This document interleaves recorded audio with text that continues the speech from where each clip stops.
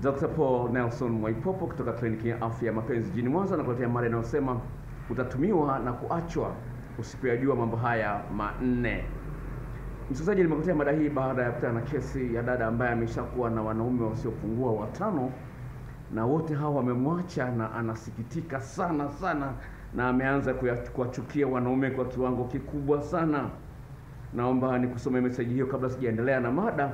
Me- Meseji yake aliyoanza nayo anasema hivi: naitwa, ametaja jina lake, umri wangu miaka ishirini na minne, kutoka Gongo la Mboto jijini Dar es Salaam. Nayachukia mahusiano kutokana na watu niliodeti nao nimedhalilishwa na usaliti ndani yake.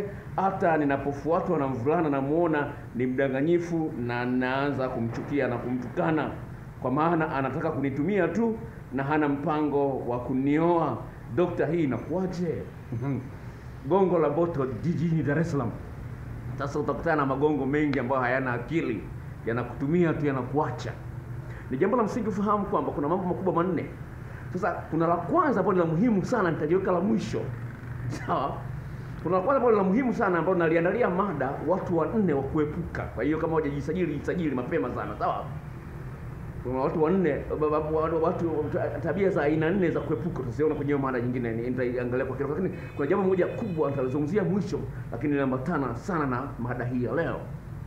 Kwa hiyo mwanaume atakutumia kwa sababu wanaume wanapenda tendo la ndoa, na kama mwanaume anapenda tendo la ndoa, kwa sababu mwanaume ana kichocheo kinachomsukuma kupenda tendo la ndoa mara kumi na sita zaidi ya mwanamke kinachoitwa testosterone.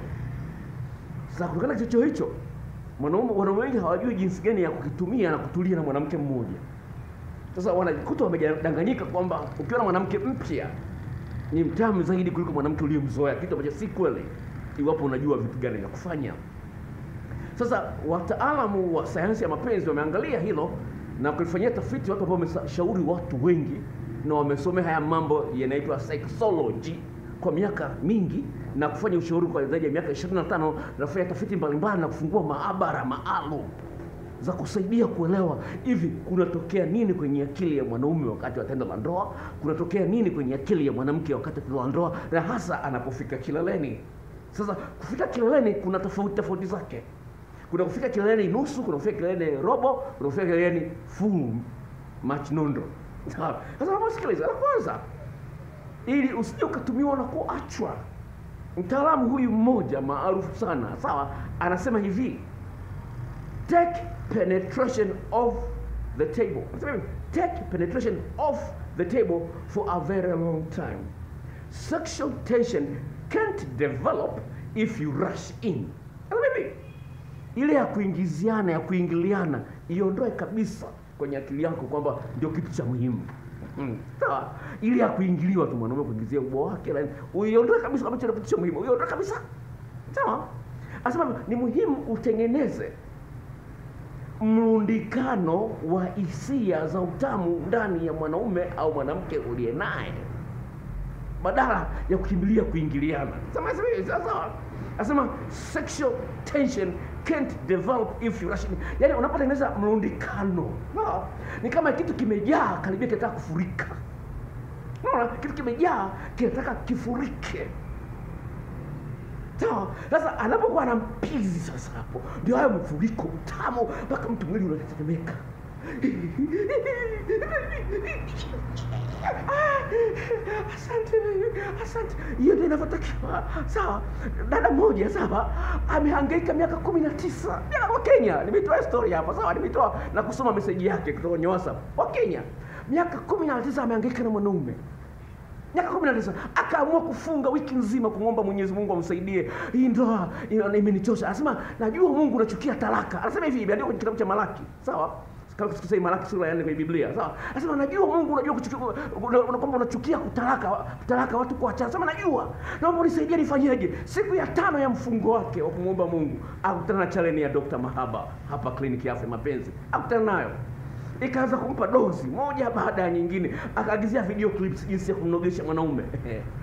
Huwezi kuamini, mpaka mwanaume anaamua kuomba likizo. Utamu ulivyokuwa mwingi, anaamua kuomba likizo kazini, ambaye alikuwa hana muda na mke wake, anakuja akai, ana time na mke wake, mpaka mwanamke ameichukia ndoa. Lakini dada huyu ananitumia message kwa Kiingereza kitupu, siwezi kaisoma kwa sababu itachukua muda mrefu, ni ya Kiingereza kitupu Anasema mume wangu amebadilika mpaka anaomba likizo.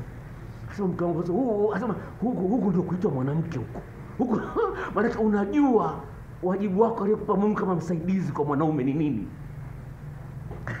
Kuna wote nitukane sana, wananitukana, wananikandia sana hapa. Sawa, wananikandia sana. Lakini Mungu kwa upande wangu. Wewe sema unayosema tu. Sema tu. Sema I don't care. Lakini najua Mungu kama mtu amefunga siku saba anamwomba Mungu, alafu Mungu anamleta kwangu, ndio anampatia solution. Na hakika hiyo ni uthibitisho kwamba Mungu yuko upande wangu. Mungu aliyesema kwamba watu wataangamia kwa kukosa maarifa. Yuko upande wangu. Ananisaidia na ananipa maono sina maelezo. Kwa hiyo la kwanza ndio hilo, lazima ufahamu kwamba mwanamke mwanaume uliye naye ana maeneo ambayo yana miisho ya mishipa ya fahamu kumi na mawili, hayapungui kumi na mawili, na ufahamu kila eneo linashughulikiwaje. Dada mmoja kutoka Dar es Salaam naye amechangia kuleta mada hii hapa mezani. Sawa, huyu dada yuko ndani ya ndoa. Sawa, dada mzuri kweli, mzuri mno, ana sura kama ya kihafukasti hivi. Sawa, Asema dokta, nimejua kwamba ndoa ya miaka kumi na sita. Asema baada ya kujifungua nilizembea sana, mume wangu akawa na michepuko mpaka amelala na house girl, lakini ananiambia juzi, sawa, ananipigia simu, sio message, juzi. Ananiambia dokta, nakushukuru sana. Mungu ameanza kuibadilisha ndoa yangu. Anaambiaje? Sasa yule mtindo uliofundisha wa kufinyia uume ndani.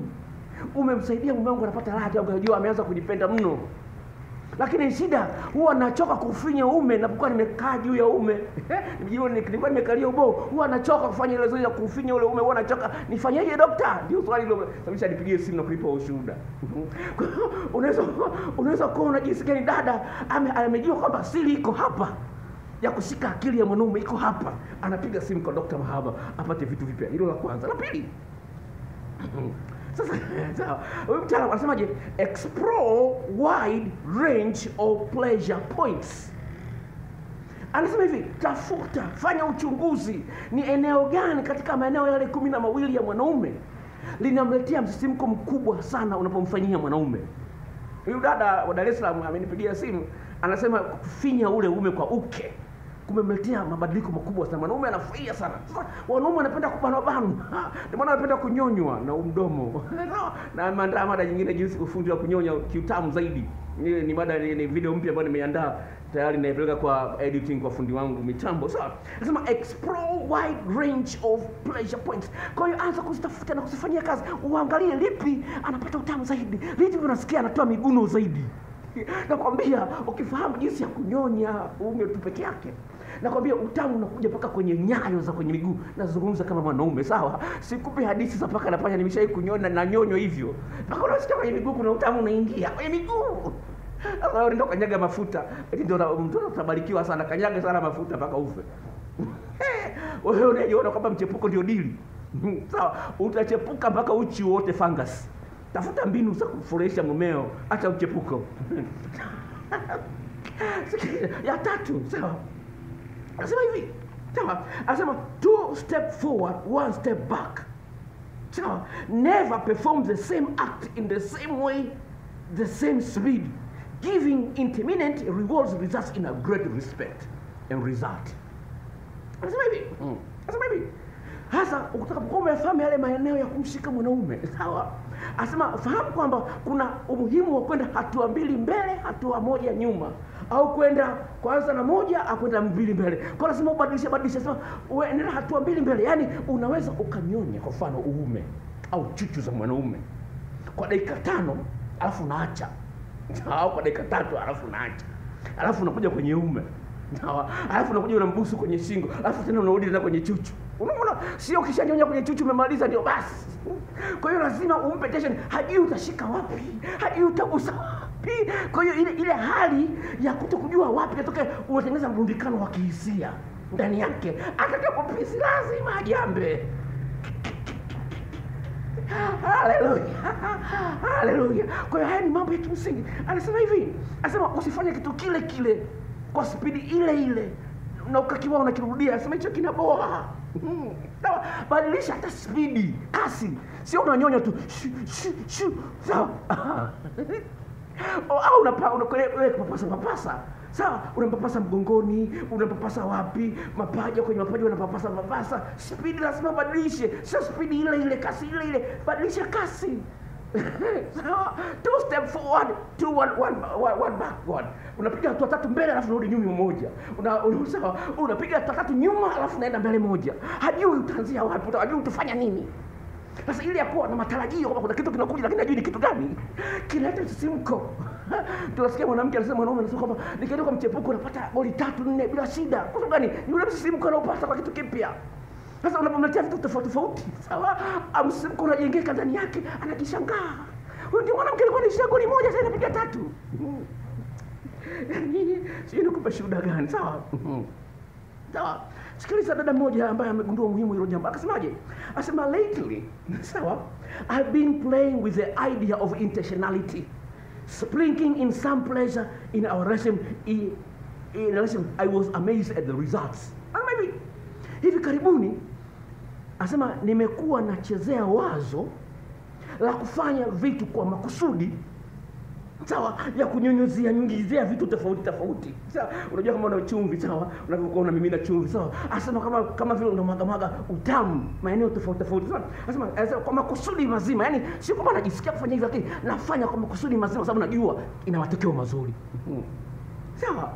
Dada mwingine akasemaje? Akasema inamalizia zinakuja bado simalizia pointi ya nne sijamalizia nisubiri nakupa vionjo. Kwa pointi ya nne sijamalizia dada huyo akasemaje? Akasema yani unajikuta kwamba mwanaume yani akisha anafanya naye mapenzi akiondoka tu amekumisi. Yani akishaondoka tu akifika sijui kilomita moja tu ametembea kutoka ameshaanza kukumisi. Jinsi gani? Amepata utamu. Apataka tu awe anakaa nao anatembea nao asema ni dakika mbili tu akishaondoka tu amekuacha ameshamaliza kutiana. Akishaondoka tu anakumisi tayari ameshaanza kukumisi. Hiyo ndio inatakiwa iwe haleluya.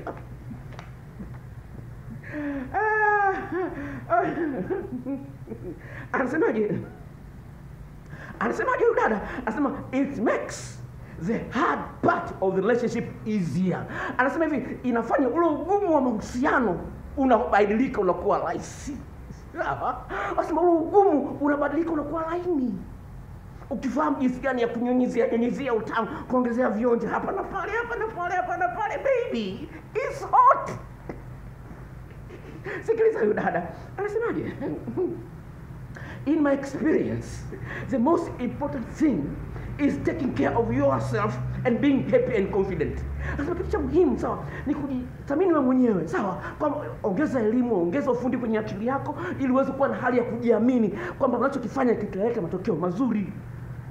Asema adventurousness is essential. Ile hali ya kuwa mbunifu. Asema ni ya muhimu sana. New position mikao tofauti. Dirty talk kumtamkia maneno matamatamu matamu kidogo hebi nitie leo mpaka nijambe vitu kama hivyo Basi anasema anasema oh oh a slightest variation of an old trick. Yani unaweza kubadilisha kidogo tu kitu ambacho umekizoea ukabadilisha kidogo tu sehemu hapo hapo anakiona kipya. Anakiona kama vile gari sawa? Hiyo kuukuu likapakawa rangi mpya linang'aa utalipenda sawa kwa mambo kama haya na utamu wake anamalizia kusema this type of things break up routine and keep juices flowing. Sawa. Asema hivi mambo kama haya ya kubadilisha kitu kidogo ni kitu ni kile kile lakini unabadilisha eneo kidogo kama wali ni ule ule leo umeongezea sijui e, na umeongezea e, mdalasini sijui leo umeongezea sijui nini biliani ule kuna biliani sijui kuna pilau sijui kuna nini wali ni ule ule lakini vinaongezewa vionjo sawa. Anasemaje anasema this type of things break up routine and keep juice flowing. Inasababisha said, inaondoa hali ya kuboreka na inasababisha msisimko unatiririka. Anamaliza kusema kwamba focus on piv can be very damaging, damaging. asema ku, kuangalia kile hali ya kuingiliana inaumiza sana. La mwisho la nne acha uchoyo. Fanya kitu kwa sababu kinaleta faida sio kwa sababu mwenzio anakitaka. Fanya kitu kwa sababu unafurahia kufanya kitu kwa mtu unayempenda. Uweze kupata video hizo namba zangu za simu zifuatazo.